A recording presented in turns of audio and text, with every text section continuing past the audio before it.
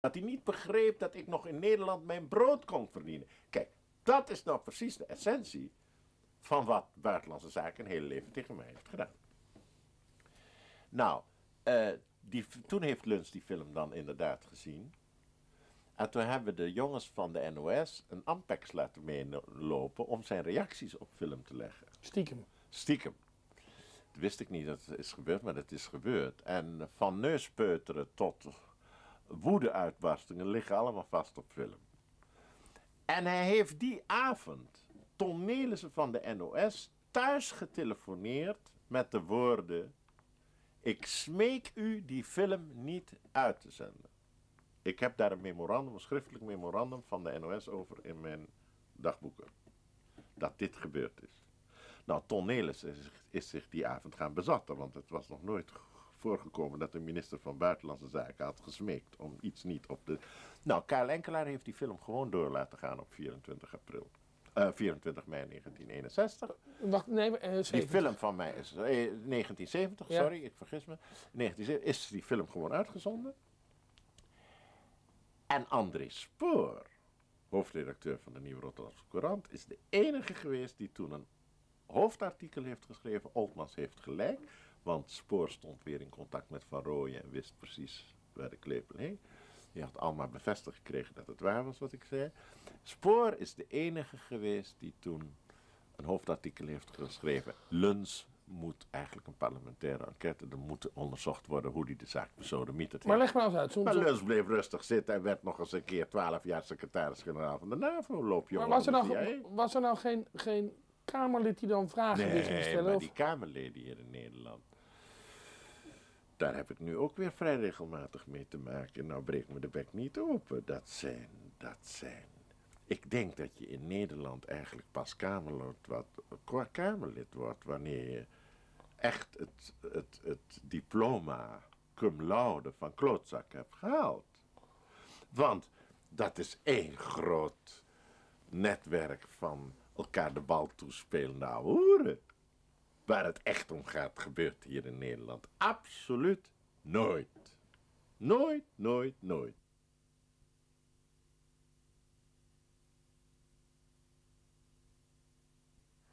Zeg Willem, Ja, Theo. 59 jaar geleden kwam jij hier voor het eerst. Ja, eh, 31 januari 38 werd prinses Beatrix geboren, de eerste kroonprinses. En eh, toen hebben mijn grootmoeder Poslavski had een babyuitzet van Brusselse kant gemaakt. En die hebben wij aangeboden, mijn twee broers en ik, in padvindersuniform. En toen zijn we zo naar binnen gegaan en hebben we daar dat eh, aan baron Bout, de kamerheer van de koningin, en eh, hebben we dat geschenk aangeboden. Moet je nagaan, dat was 38, het is nu bijna 98. Een mand met seringen. Ja, het was verpakt in een mand. Het was een grote mand en helemaal met bloemen versierd. Het was een cadeau. We hebben een mooie brief gekregen toen. Als ik je zo hoor, Willem, heb je toch dierbare herinneringen aan het Huis van Oranje? Zeer, zeer, natuurlijk. Alleen, ik vind het niet meer passen in deze tijd. Nou, kijk, ik heb hier een boekje. Meet in Soesdijk. Willem Ja. Oltmans. Ja, Wij slaan bladzijde 32 op. ja.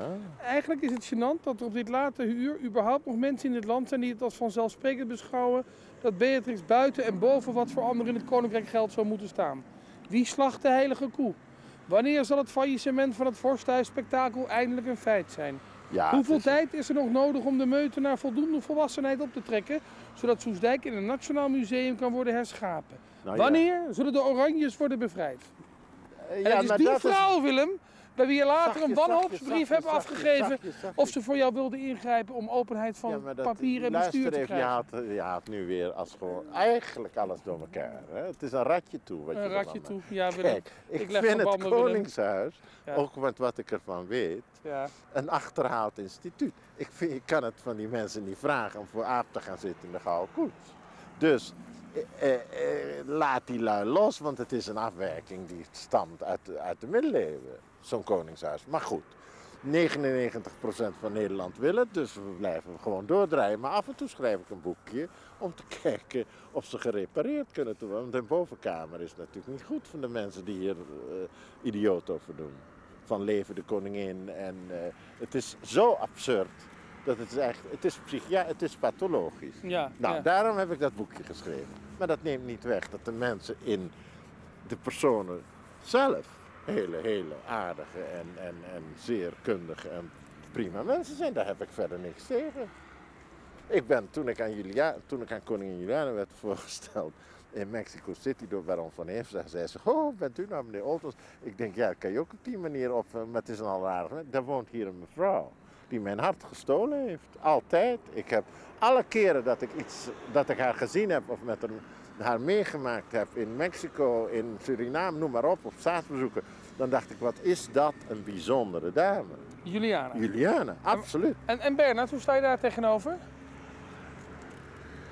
Dat is natuurlijk een vrij pijnlijk onderwerp. Want ook al heeft hij eh, meer dan veel voor dit land gedaan. En, en altijd zijn nek voor Nederland uitgestoken en erg veel goede dingen gedaan. Onconstitutioneel ingegrepen door met de Amerikanen te gaan praten ja, over de dat heeft hij wel gedaan, maar daar Op bewonder ik, ja, Ja, daar ja, bewonder ik hem zeer. Nee, Theo, maar dat heeft een zeer belangrijke daad van de prins geweest. Er is een grondwet in dit land, Willem. Ja, dat is wel zo. En toch ben ik hem heel dankbaar en bewonder hem zeer dat hij dat gedaan heeft. Maar, dat, maar daarnaast had hij natuurlijk geen oog voor met wie hij wel en met wie hij niet om moest gaan. Dan was hij nooit in al die ellende terechtgekomen waar hij later in zijn leven in terecht is gekomen. Mhm. Daarom kreeg Kraus het zo moeilijk, omdat koningin Beatrix de, de, geen herhalingen wou hebben met de situatie die haar vader gekenschetst heeft. Ja. En jij vertelde ook dat... eh, maar ik zal hem altijd verdedigen oh, natuurlijk. maar je vertelde ook dat die mevrouw waar we net waren... eh, Juffrouw Wuren Boekhart? Ja, dat die hier ook les gaf hè, aan Beatrix. Die had hier een kamer, ja. En dat zij wel in de gaten had dat eh Bernard ook wel eens naar andere vrouwen keek tot groot verdriet van de Hare Majesteit toen. Hè, Juliana? Nou ja, het was wel eens pijnlijk op feestjes dat hij geen... Nou, eh, ik, zal, ik zal je... Er is natuurlijk heel veel bekend over hoe nonchalant eh, prins Bernhard dikwijls tegenover zijn vrouw was. Mhm. Ik bedoel, als, als de koopman van Ege op Soesdijk zat te praten met prins Bernhard en koningin Juliana. En prins Bernhard zegt in het bijzijn van meneer Van Ege... Nou, het wordt tijd dat je nu maar eens even weggaat tegen de koningin. Dan denk je toch eigenlijk met een woord. Dat kan je als gentleman niet maken. Mhm. En zeker niet in het bijzijn van eh, gasten. Maar Klaus heeft het dus zwaar gehad wegens het wangedrag van de papa van eh, Beatrix.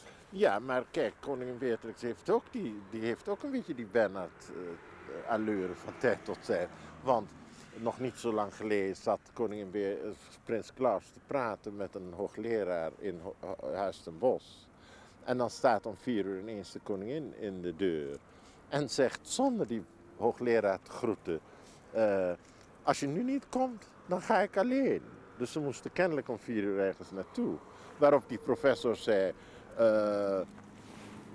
oh, mevrouw, dat zijn problemen die wij thuis ook altijd hebben.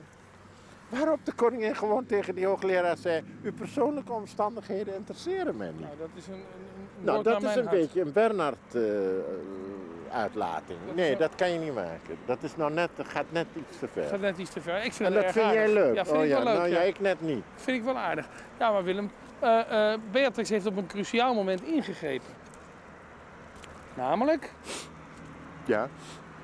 Toen jij haar een wanhopige brief had ja, gestuurd. dat heeft ze gedaan en daar ben ik er, maar dat weet ze ook, daar ben ik er, eh, toen ze in Zuid-Afrika, toen ik er dus nu in oktober met de koningin in Zuid-Afrika was. Ja. en eh, haar weer eens groeten, heb ik de opperceremoniemeester, meneer Warwil, gevraagd om aan de koningin later te zeggen onder vier ogen.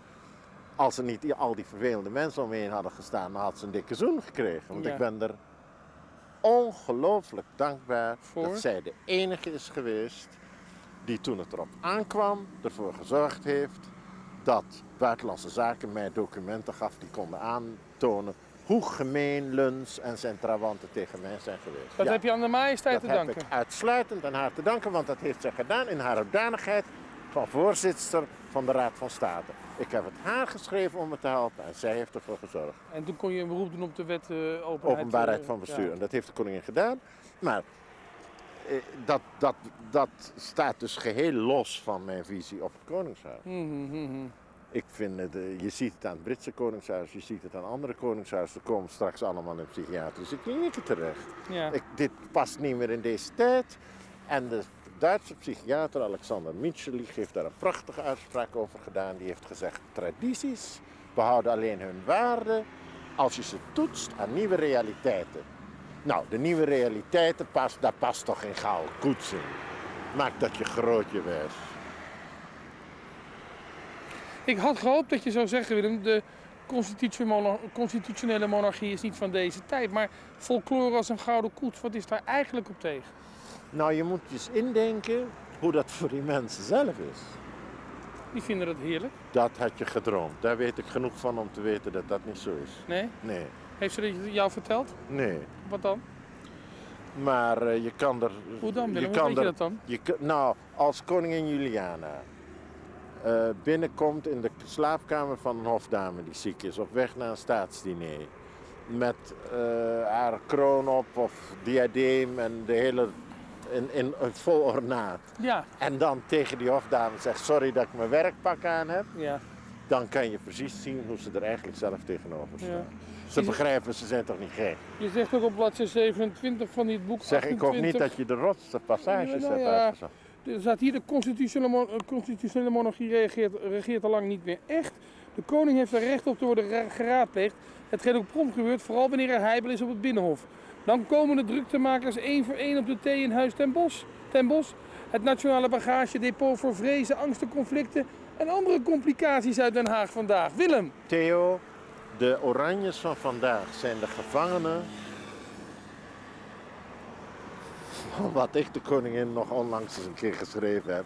Je bent gewoon de gevangene van idioten. ja, ja.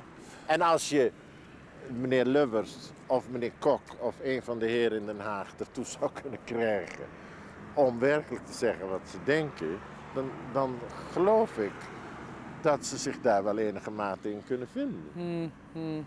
Ze mogen eigenlijk niks. Ze mogen niet eens ontvangen wie ze willen. Maar Eh, Prinses Margriet, zij in Canada. Toen ze mij voor het eerst meemaakte, acht dagen, waar heeft ze letterlijk gezegd: waarom mochten wij niet van Willem Oltmans houden? Omdat ik een rode, ik het een rode kaart van lunch gekregen. mhm. En dan wordt het Koningshuis voorgeschreven met wie ze wel en niet om mogen gaan. Nou kom, ze moet voorkomen. Ik heb er al gedacht van. Ik wil dat het herhaald wordt in het openbaar. Stel voor, dat, dat, dat is een vorm van decreteren met wie ze wel en niet om kunnen gaan. Prins Bernhard, als ik die tegenkom ergens op een receptie, komt hij naar me toe. Ja. En eh, hij, moest, hij wilde me voor iets bedanken. En toen zei hij daarna, we moeten eens praten. Nou, dat, heeft, dat was in 1978, het heeft tot op vandaag niet... Waarom komen Jan Rap en zijn maat maken interviews met Prins Bernhard en ik niet? omdat jij een eenmotorige mug bent. Volgens Luns, ja, maar dan heb je een hele slechte bron aangehaald. Goed, je, je noemt dit eh, paleis ook het goedkoopste postkantoor van Nederland, hè? Nee, nee, nee, maar daar laat ik me liever niet over. Jawel. Nee, niet Kom, dit, Willem. het is het werkpaleisje van de koningin. Oh nee, maar goed. Kijk, het is natuurlijk erg makkelijk om als ik de koningin iets schrijf en je weet van tevoren dat Hans van der Voet van de Rijksvoorlichting ze- zegt tegen mij: als jij de koningin schrijft, dan gaat dat ogenblikkelijk naar Kok, naar mij, naar de buitenlandse zaken, naar de inlichtingendiensten. Nou, dat heeft mij op een idee gebracht. Ja, Als ik die rotzak in Den Haag, die al 40 jaar achter me aan zitten, iets onaangenaams wil vertellen, dan doe je dat via de dan koningin. sterk stuur ik het naar Hare Majesteit. Eh, Dat scheelt zeven postzegels en dan gaat het meteen door. Willem, Ja, daar komt dat vandaan. een zo hoogstaande vrouw die je voor dit soort Ja, die- bananenakkefietjes Helemaal gebruikt. niet, ze lacht zich kapot. Hoe weet je dat nou? Weet ik zeker. Ach, hoe weet je dat? Ja, ja, ja, ja. Dat ja. zeg je maar weer. Je lijkt een grootheidswaanzin. Je hebt die koningin helemaal niet gesproken daarover. Om Nee, die heb ik daar ook niet. Hoef ik, daar, hoef ik daar niet over Oh, te dat spreken. weet jij. Maar ik weet Dat genoeg. Over een periode van 40 jaar heb ik daar zoveel over gehoord. Ja. Van kinds af aan. Ja, Dat ik denk dat ze die humor er heel goed van inzien. juist. Het is wel een geestige tand. Ja, ze heeft natuurlijk twee gezichten. Eén als koningin en één als Beatrix. Nou, het is natuurlijk de kunst om het gezicht Beatrix af en toe tegen te komen. En, en daar iets over te weten te komen. Dat is de echte vrouw die Ja. achter het masker van de koningin. Maar hoe, hoe kenscheidt je die Beatrix? Is dat een bitch of is dat een barmhartige tante? Hoe nee, het zien? nee ze is, ze is juffrouw, mijn, onze mevrouw die ons opgevoed heeft, Ja. die kon altijd in tranen constateren dat zoals ze overkwam niets te maken met, had met hoe ze werkelijk was. Ja. En dat deed er altijd ontzettend veel pijn, want dan, dan zei ze weer, ja, nou heeft ze dit weer gedaan of dat weer gedaan. Jullie zijn eigenlijk precies hetzelfde, zei ze. Jullie flappen er altijd alles uit voor Ja, je eerst erover nadenkt. En ehm, dan zei ik altijd tegen deze mevrouw, ja, maar dan heeft u ons zo gemaakt. Want wij, wij, wij hebben echt bij haar alles kunnen zeggen altijd wat we dachten. En, wat, en dat heeft, heeft de koningin natuurlijk ook gehad. Maar eh, dan trek je in het boek ook een parallel, in Mede in Soestdijk, tussen Klaus en Hendrik. Beide gevangenen van hun echtgenoten. Ja, eh, in tegenstelling tot prins Bernhard, die precies deed waar hij zin in had. Ja, die heeft Eh, verstandig koningin. Juliana had natuurlijk geen enkele controle over wat prins Bernhard wel of niet deed. Nee. Terwijl prins Hendrik in die tijd, in die setting van het hof van Wilhelmina, ja... eh, Hij zei, met- ik ben nur das Gepäck. Hè? ja, nou ja, zo, zo is het geweest. Maar- En prins Klaus is ook een beetje dupe geworden eigenlijk van de scheve schaatsen van prins Bernhard. Want eh, het moment dat op Drakenstein ging alles prima. Maar toen ze eenmaal op Huis ten Bos zaten, kon prins Klaus zich niets meer veroorloven. Mhm. Want alles liep via zijn echtgenoten. Nou heb je een keer een persconferentie belegd om uit te leggen dat Klaus geen homoseksueel was. Waarom deed je dat? A, omdat het een heel kritiek moment was dat dit op de omslag van het Duitse blad Der Spiegel zou komen te staan. B, omdat ik absoluut geloof dat het niet zo is. En dat ook wel zeker weet dat het niet zo Hoe is. weet je dat zeker? Ja. Nou ja, laat ik. ja, ik weet het zeker. Maar eh, niemand is er tenslotte bij. Niemand weet wat prins Klaus in zijn slaapkamer doet. Nou, misschien was jij erbij geweest. Nee, nee, nee. Oh, Dat, nee, dat nee, nee, nee, die, nee. Ik ga nooit boven de 26. Maar dan hou je opeens een persconferentie en dan, en dan Klaus is nou, geen kijk, homoseksueel. nee, mij werd Josje gevraagd... Hager chanteerde geloof ik, hè, van de Telegraaf. Josje Hagers van de Telegraaf chanteerde de koninklijke familie. Hoe? Dit werd door mij bevestigd door Gijs van der Wiel, de toenmalige directeur van de maar hoe chanteerden ze de Dat koninklijke deed ze familie? zo door iedere week een keer op te bellen en te zeggen: Ik heb de bewijs dat Klaus homoseksueel is. Ja, maar wat dan? Nou, en dan zei Van der Wiel: Het is niet waar, het is niet zo. En dan zei Van der Wiel tegen mij: Zolang het er niet ergens staat, kan ik er niks tegen doen. Mhm. Dus zolang deze juffrouw dat niet schrijft, kunnen wij niks doen. Maar wat wou die juffrouw daar dan mee? Nou, wat ze wou, het is dezelfde truc als met Beatrix en Klaus. Eh, toen John de Roy de foto nam door de bosjes dat Beatrix met Klaus wandelde, Ja. hebben ze die niet in Nederland afgedrukt, maar in Engeland. En dan via de omweg, het heeft in Engeland gestaan, durfde de Lafbeck het hier ook. Maar Josje De. Greet Hofmans affaire Ja. werd in de Spiegel gelanceerd en dan de Lafbekken hier komen er ook mee. Ja, maar Josje- Dus ze stonden op het punt om via de Spiegel. Prins Klaus voor de hele wereld als homoseksueel af te schilderen. Toen gaf jij een persconferentie. Toen heb ik dat de grond ingeboord. Maar hoe dan? Hoe doe je dat als je het niet zeker weet? Ik, nou, ik, ik heb het met zoveel eh, aplomb eh, gezegd, dat zelfs Hans van der Voet tegen Vrij Nederland heeft gezegd, de persconf op dat moment, de persconferentie van Oltmans heeft de lucht rond het Koningshuis opgeklaard. Wat zeg je nou? Maar niemand heeft erover geschreven. Ja, dat is, heeft in Vrij Nederland gestaan. Aha, maar niemand heeft verder over die persconferentie nee, geschreven, godzijdank niet. Maar je haalt dus 60 journalisten bij elkaar om te zeggen... Klaus is geen homoseksueel. Niet alleen dat, ik heb gezegd jullie moeten helemaal ophouden. Want eh, Klaus is al, die is al in een psychiatrische kliniek en het is reuze gemeen om nog eens even dit te doen. Terwijl Josje Hagers dat ook niet kan, die is ook niet bij geweest in de slaapkamer. Hè? Ja. Dus eh, dat is dan een gerucht. En ik vind, op dat moment was het voor het Koningshuis van het grootste belang. Dus je haalt me dan wel aan dat ik dat vind van het instituut. ja. Maar als ik, de, als ik ze kan redden, doe ik het. En dat heb ik toen gedaan. En misschien dat de koningin zich dat herinnerde toen ze mij gered heeft. Ik denk dat jij in wezen de beste vriend van het Huis van Oranje bent. Zo zie ik mezelf ik van de Republikeinse fractie moet jou eigenlijk als mijn voornaamste tegenstander zien. Nou, zullen Want we, als puntje bij paaltje we komt, gaan Willem, vechten? voor als het- puntje bij paaltje komt, dan steun je deze potsenmakerij. Ja. Met persconferenties, met, met uitspraken. Ja, maar luister, je bent toch democraat? Ja? Als 90% van het Nederlandse volk deze 94. show wil, Ja, ja, ja.